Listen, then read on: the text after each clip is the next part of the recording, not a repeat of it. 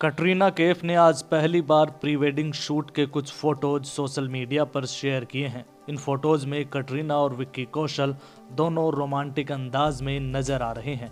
कटरीना और विक्की कौशल की 9 दिसंबर को राजस्थान के सिक्स सेंसेस फोर्ट में शादी हुई थी।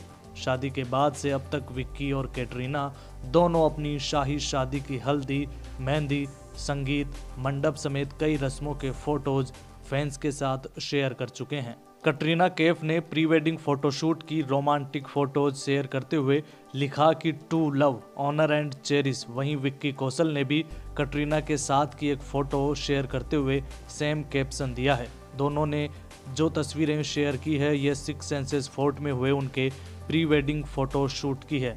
इन फ़ोटोज़ में दोनों की जोड़ी बेहद खूबसूरत नज़र आ रही है। ऐसे में आज हम आपको विक्की कौशल और कटरीना केफ की शाही शादी की कुछ शानदार फ़ोटोज़ दिखाने जा रहे हैं।